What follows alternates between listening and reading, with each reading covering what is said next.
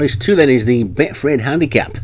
And for the card to come up, and it's seven furlongs, 0 to 85 this time. And the top one is Foshan Parliament for Vinnie Gerard. Banging drums, Mark Jones, Pure Piergy, Daniel French, Swift as Air, Nick Driver, Follow You, Mark Jones, She's Like the Wind, Derek Hinton, Highland Valley, Thomas Rogers, James E. Cornett, Nick Driver, Winter Queen, Paul O'Neill, Poppets Boy, and Sugar Hit for Craig Beckwith, Kura Hajar for Ananias, Kick Here, Kevin Meanahan, Down to Earth, Martin Lidham, and Ryan Costello's got the bottom two, High Atlas, and That's Me Girl. There's 16 of them this time, so they're paired on fourth.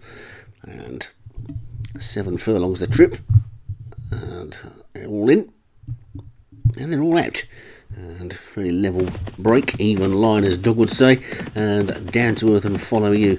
I'm going to dispute the lead down to earth in the purple jacket. Looks like it wants to lead at the moment. Also prominent issues like the Wind Pure Purging kick here and Winter Queen right over on the far side.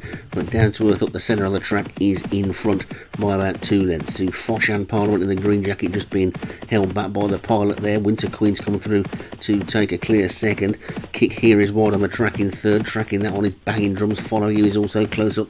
So to Pure Purgy and James E. Cornett, but it's down to earth who leads by a couple to Winter Queen over on the far rail second. Then she's like the wind Wyndham Foshan Parliament. Kick here, closest to us. James E. Cornett, then banging drums and follow you. Pure Purges after that. Then Swift as air, one or two out the back. Haven't got into it at all. Getting his down to earth past the three pole in the lead. But the field now coming to try and challenge him. Down to earth is still a length of the good though from She's like the wind in the pink jacket. Look at this. Banging drums now bursting through to challenge for the lead as they pass the two furlong pole. And banging drums. is banging his drum and has gone on. But down to earth is trying to fight back. She's like the wind is there as well. It's three in a line. These three racing towards the final furlong pole then now with Down to Earth just regaining the lead. Banging drums is second. She's like the wind is after that one. Then comes Winter Queen, Foshan Parliament. Pure Purge pulled up at the back, but Down to is still in the lead. But here comes Highland Valley and Foshan Parliament. Foshan Parliament right over on the far side is just about going to take it. I think Foshan Parliament ends up winning it by a length and a half. Follow you.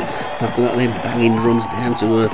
That's me girl was the last one to finish. Pure Purge pulled up. And spread right across the track there. It was Foshan Parliament who had the rail, who got through to take it. It says earth is second there. I'm not quite so sure about that myself. Didn't look like he was second on that replay, but it, he is. Foshan Parliament's the winner for Vinnie Gerard. Earth second for Martin Lidham. Banging drums and follow you. Third and fourth both for Mark Jones. And Winter Queen for Paul O'Neill was fifth.